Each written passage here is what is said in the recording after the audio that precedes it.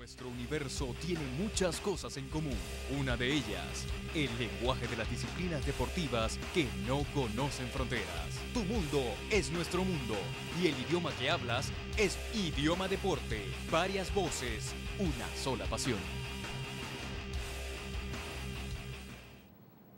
Amigos, bienvenidos a una nueva edición de, Idioma Deporte por Atel, Americana de Televisión, brindándote 30 minutos dedicados en su totalidad a repasar las diferentes disciplinas deportivas. Seguimos en esta onda de llevarte lo mejor del año 2011 en todas las disciplinas y por ello hoy hemos preparado un programa muy especial en materia de fútbol. Reciban el cordial saludo en nombre de todo el equipo técnico y de producción, Alberto, a mi compañero Alberto Ferrer Ávila, junto a Edwin Palma te llevamos una nueva edición de Idioma Deporte. ¿Cómo estás, Alberto? Muy bien, Edwin un placer estar contigo en un nuevo día para traerles a nuestros televidentes la actualidad del deporte nacional e internacional. Hoy con un programa especialísimo sobre fútbol venezolano. Tenemos el campeonato clausura, el campeonato apertura, el campeonato completo de, del fútbol venezolano. Tenemos eliminatorias para la Copa del Mundo Brasil 2014. Y no podemos dejar de lado, por supuesto, todo lo realizado por eh, la Vino Tinto en cuanto a la Copa América se refiere. Vamos a estar echándole un vistazo a todo lo hecho por nuestra querida Vino Tinto en este año glorioso, año 2011, para el Combinado Nacional de Fútbol. Pero vamos a iniciar hablando del torneo local, del, eh, por supuesto, del fútbol venezolano. Se enfrentaban en la finalísima, eh, por supuesto, del torneo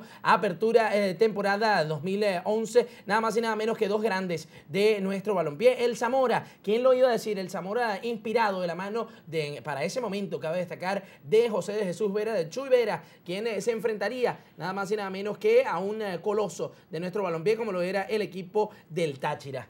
Jonathan Copete fue el único que pudo marcar por el equipo del Zamora para lograr esta victoria y de esta manera darle el campeonato del torneo clausura al equipo Zamora. Sí, señor, hay que destacar entonces que el Zamora de la mano de Jonathan Copete, de la mano del Chiqui Mesa en ese momento, vistiendo los colores del equipo zamorano, se llevarían con un gol 1 por 0 ante el Táchira, lo que sería eh, la figura del torneo Apertura. Habría que hacer mucha lectura sobre esto, un equipo del Zamora que luego de conseguir esta importante victoria en su palmarés se desvinculó de piezas bien importantes, tal fue el caso del Chiqui Mesa, su jugador eh, de mayor envergadura, de igual otros jugadores bien, eh, pero bien importantes que a la postre no estarían. Y por supuesto, Jesús, José de Jesús Vera, Chuy Vera, quien se iría al Deportivo Táchira.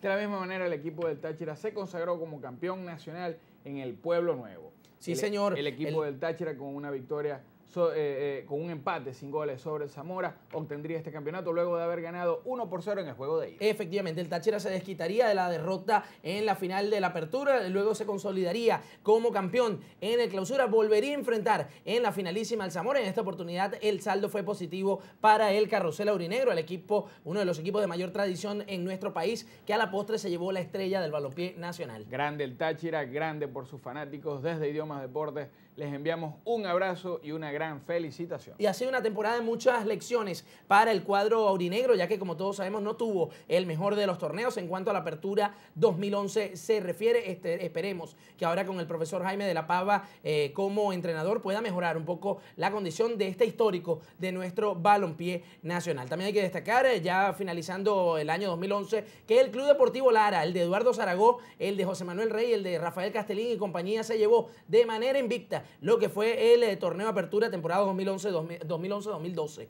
No, y, y, teniendo también en, en, la general la mayor cantidad de goles a favor con 39. Felicitaciones además para el equipo de Lara quien ya se clasifica para la gran final total general del fútbol nacional. Encajando una gran, pero que gran temporada. Sí, señores, esto nos deja el fútbol profesional venezolano, que para el próximo año de seguro va a contar con muchísimo mayor apoyo de parte de usted, amigo. Usted que tiene que apoyar el fútbol nacional para que siga creciendo, sin duda alguna. Alberto, dejamos de lado ya el fútbol profesional venezolano. Hay que destacar ahora la actuación venezolana y la actuación en general de los diferentes equipos del Cono Sur en cuanto a la Copa América se refiere. El evento más importante en cuanto a fútbol del año 2011. Yo quisiera hacer una pequeña pausa acá para reconocerle a mis compatriotas jugadores de la Vinotinto el grandioso esfuerzo físico, emocional y de, y de todo tipo que hicieron para lograr eh, quedar en este grandioso cuarto lugar dentro de la Copa América. Sí, señor, hay que destacar, por supuesto, la figura de nuestra selección vino tinto, pero vamos a destacar